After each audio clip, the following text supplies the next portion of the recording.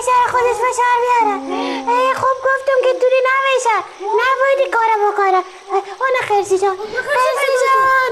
خرسی جان. چی شده دوستا چرا کمر خطا هستین خرسی جان ما یک مریض فشار عجل چلسی داره چی چی یک مریض ببین خرسی جان این گپا رو حالا بان حالا همراه من بیاتش راست میگه عجل یک همراه کمی مریض شده کمی مریض شده کمی مریض شده خانه گلی خود طرف نیست این طرفه این روی طرفش راست میگه صبر کن من دوا بیارم خب دوا میارم صبر کن صبر کن من سری سری سری برو دوا بیار برو که این گلی رو باز چی شده چشمان خیرا خیرا میشه من خیلی لاغر شدم شکم رو شدم. نه نشدم. این چیزها رو بان گری جان حالا باید تو درس تا بخوانی. خب.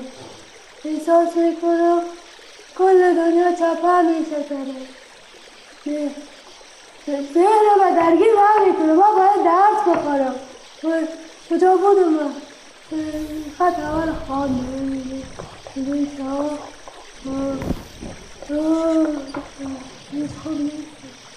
است من ما باید امتحان امتحان دارم درس بخورم وای ذوق می‌کنم وای وای وای شفاهیتم خراب است بیا دیگه تیسیز بیا داره اون خیلی گمی جان. گمی جان. گمی جان. تو رو چی شده؟ چی شده چرا مریض هستی اونو میلرزه وای گمی جان تبم داره تبم داره زیاد تب داره چرا گمی جان چرا مریض شده چی شده داره از کن بون درس می‌خوانی که یه حالت بار قراره که تو به اون طرف کن چی می‌کنی گمی جان؟ برو که درس تداوی باید تداوی کنی. بابا نمازم نشم نه نه داره جان. اولین چیزی که مهم است تو باید خوب صحتمند باشی و لازم می‌تونی که اول نمرم شدی. جان خوب است خیسی جان. چی شده بود خیسی جان. بفهمی گوی که هست نه از وقتی خبر شده که امتحانای ما نزدیک است هیچ چیز نمی‌خوره هیچ تغذیه سالم نداره هر دقیقه زوف می‌کنه میگم چرا چیزی نمی‌خوری؟ میگه وقتم ضایع میشه. می‌خوایم